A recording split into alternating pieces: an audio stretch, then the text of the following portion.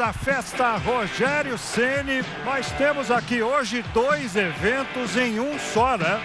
Nós temos um jogo do Campeonato Brasileiro e temos o milésimo jogo de Rogério Ceni com a camisa do São Paulo.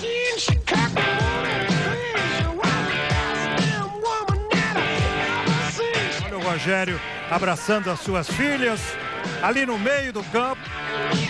Eu tanto procuro me concentrar no jogo que na hora de entrar eu esqueci ela do vestiário, você acredita? Eu vi, cumprimentei elas na hora que elas chegaram, dei beijo nela.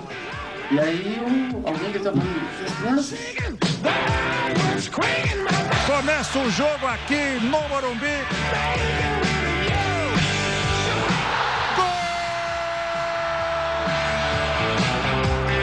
O primeiro gol do Lucas, que foi importante. São Paulo com Lucas faz 1 a 0 no Galo. Hever, pô, brincadeira, subiu lá no terceiro andar, né? A bola bem cruzada, saindo, jogador vem de encontro, né? A bola.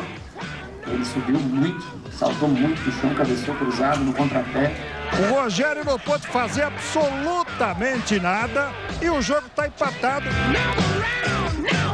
Ainda bem que conseguimos, né? O segundo gol, da Dagoberto acertou um belo chute no segundo gol.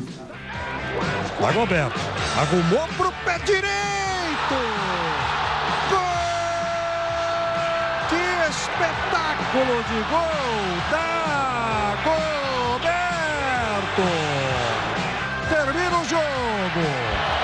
São Paulo ganha do Atlético Mineiro, assume a liderança do campeonato e o Rogério Ceni completa mil jogos com a camisa do São Paulo.